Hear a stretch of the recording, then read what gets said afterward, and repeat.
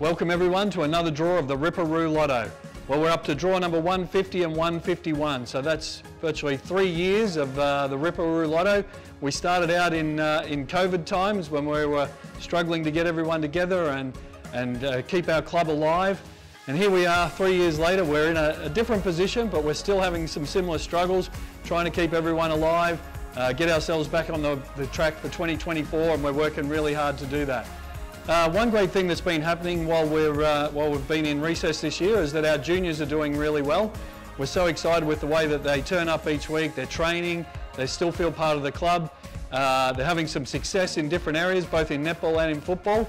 But I just want to give a shout out to two young juniors in the football side of things who are doing really well. We've got uh, Benji Hanrahan and Jaden Forge, who have both been selected for New South Wales. They're going to represent the state sometime in July at the carnival in Ballarat. And uh, even though that's a cold place, I'm sure those boys are going to do really well and excel and really represent the Corowa Rutherglen Football Club with pride.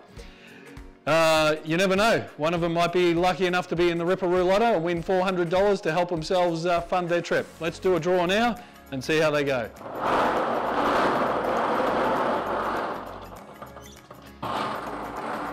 Okay, so this is draw number 150 of the Ripperoo Lotto, and we've got ball number 85. Let's uh, cross over to our uh, board, pan down, and we've got Luke Taylor. So Bruiser Taylor, he's, uh, he played for us as a, uh, a junior, exciting young junior he was. He's moved up north, still has lots of involvement with the club through social media. Bruiser, I know you'll be watching this because I know you watch every week. Uh, this is a great win for you and uh, I'm sure you'll be excited, you and your young fellow, because I see he's doing really well with his football as well. Uh, we've got another draw, so Bruiser, you're going back in, and uh, we'll have one more draw. And this time it's ball number 129.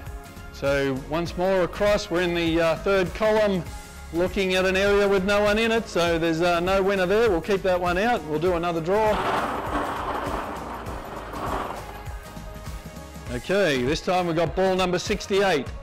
Let's see who the lucky winner is on 68. And we've got David Potts. Potsy, one of our great accountants at the club.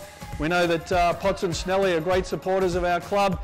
David's also a great supporter and he uh, chaired some of the tough meetings that we had to have at around the time that we uh, went into recession. So congratulations Potsy, you're a great winner of the Ripperoo Lotto.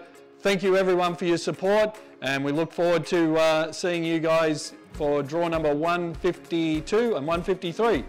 Thank you.